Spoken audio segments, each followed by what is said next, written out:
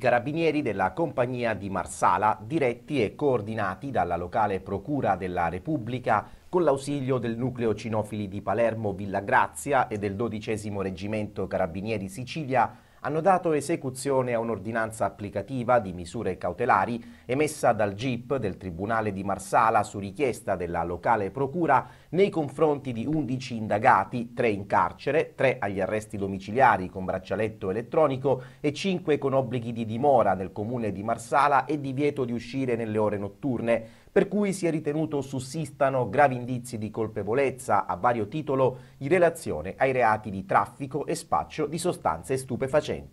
Sono anche state sottoposte a sequestro preventivo due società di vendita e noleggio veicoli aventi sede a Marsala e riconducibili a uno degli indagati. Il provvedimento trae origine dalle indagini condotte dai carabinieri della sezione operativa della compagnia di Marsala, coordinati dalla Procura della Repubblica Lilibetana, volte a reprimere una lucrosa attività di traffico di cocaina sull'asse Catania-Marsala. Alcuni indagati, infatti, secondo quanto ricostruito dagli inquirenti, avrebbero organizzato in più occasioni il trasporto della droga dalla città etnea, avvalendosi di insospettabili autovetture a noleggio intestate a due società marsalesi. Sarebbero giunti ogni mese due chilogrammi circa di cocaina che avrebbero inondato la città favorendo lucrosissime entrate illecite per i trafficanti. A Marsala, infatti, la cocaina sarebbe stata ceduta ai locali pusher per l'approvvigionamento delle piazze di spaccio cittadine. L'indagine dei carabinieri aveva già consentito di arrestare in flagranza sette persone, sequestrare 3 kg di cocaina e circa 40.000 euro in contanti ritenuti provento dell'illecita attività